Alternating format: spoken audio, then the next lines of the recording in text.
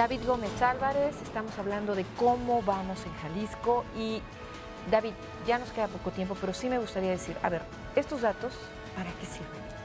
Claro, se trata de un reporte de indicadores que nosotros le queremos llamar conocimiento útil, que es distinto a información. Información hay muchos, mucha, datos también. Lo que creemos que agrega de valor este reporte a la información que ya existía, porque debo decir que este reporte de indicadores no ofrece información propia que hayamos generado en el observatorio, es información que ya existía de manera dispersa y fragmentada en muchas fuentes de información desde el Banco Mundial y Naciones Unidas, por mencionar dos internacionales, hasta la Dirección de Servicios Públicos Municipales de Guadalajara, pasando por INEGI, CONAPO, COEPO y demás. Es un compendio, podemos decirlo así. Es un compendio de indicadores, de datos estadísticos, pero que tienen un valor agregado que los hacen conocimiento útil.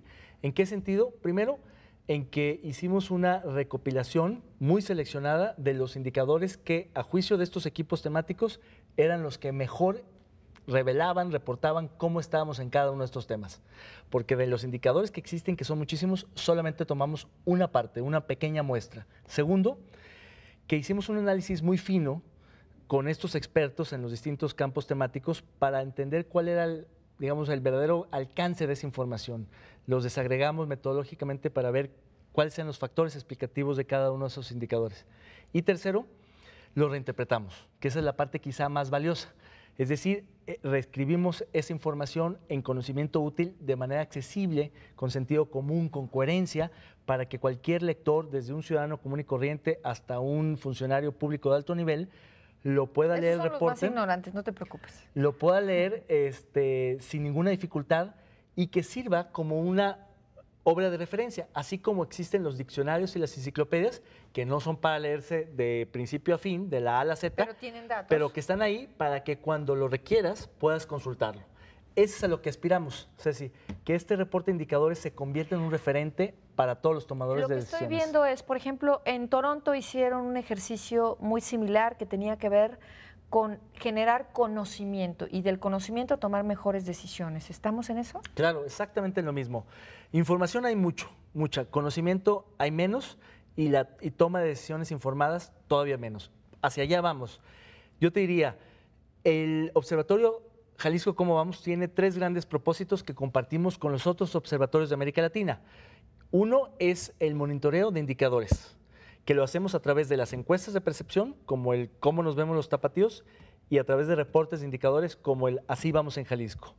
Dos, buscamos incidir en políticas públicas, es decir, influir en la toma de decisiones tanto gubernamentales como de la iniciativa privada. tienen la mejor disposición de que asociaciones civiles, gubernamentales se acerquen a ustedes para eh, poder este, ampliar sus propuestas? Claro, y tercero, queremos también promover la participación ciudadana y construir, contribuir a la construcción de ciudadanía. Y ahí entran las redes sociales, las redes con otras organizaciones de la sociedad civil, con la idea de crear un capital social más grande, más rico en Guadalajara y en Jalisco, que permita que la sociedad civil sea suficientemente organizada, crítica y proactiva y movilizada para participar en los asuntos públicos. Me va a preguntar y después no me quiero quedar con ¿Quién paga esto?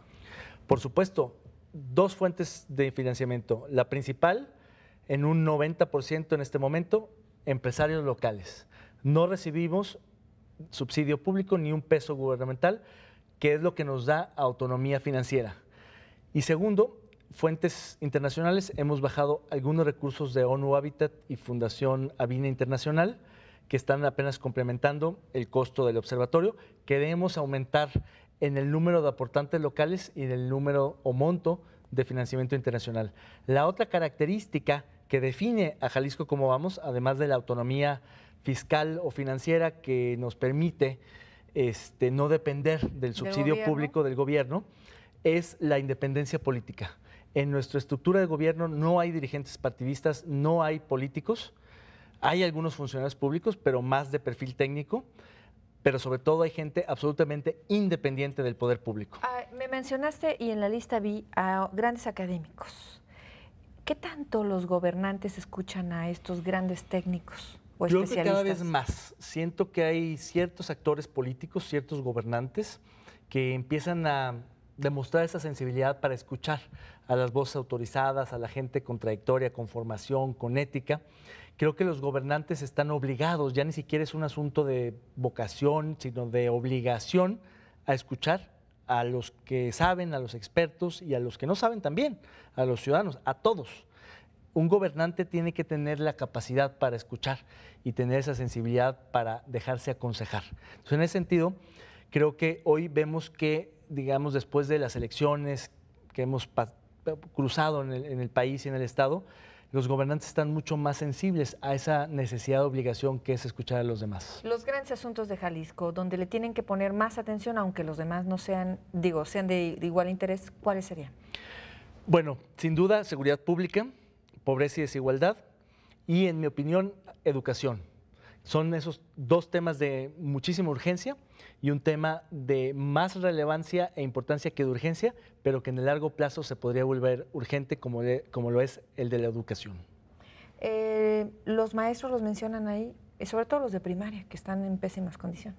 Sí, en el componente se da cuenta de, lo- de distintos indicadores, este, no hay mucha información. También hay que decir que no es que aquí esté todo lo que tenga que ver con educación, medio ambiente o servicios públicos, sino solamente algunos indicadores muy cuidadosamente seleccionados, que nos dan una idea bastante precisa, aterrizada, de cómo vamos en cada, uno de, ca- en cada uno de esos rubros. ¿Somos cuidadosos los calicienses en el medio ambiente?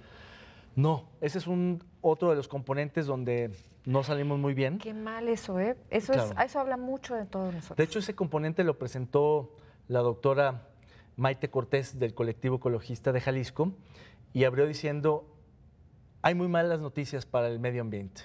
No solo no hay una cultura del cuidado del medio ambiente, sino que hay un deterioro de los servicios ambientales, hay, un, hay una serie de indicadores que son muy preocupantes en torno al modelo de crecimiento, desarrollo que estamos siguiendo en el Estado. Y hay varias alarmas, varios datos pues, muy preocupantes que ella mencionaba. Y en ese sentido pues el medio ambiente sin duda es un tema que sin ser urgente es igualmente importante, es como la educación, son temas que hoy por hoy Nos van a afectar no, mañana. exacto, que son de futuro. David Gómez Álvarez, gracias por venir. La verdad nos faltó tiempo para hablar sobre esto. Yo les invito a que se metan a echarle un clavado. Si es ciudadano, interésese de lo que está pasando en el estado de Jalisco y cómo vamos. Gracias, muchísimas gracias. Gracias Ceci, gracias al Canal 44. Yo les recuerdo que tenemos una repetición mañana a las 9 de la mañana y el fin de semana también nos vemos ahí. Yo lo espero el próximo martes aquí, como siempre.